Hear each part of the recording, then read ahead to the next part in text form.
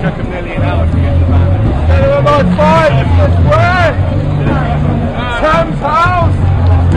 Sam's house.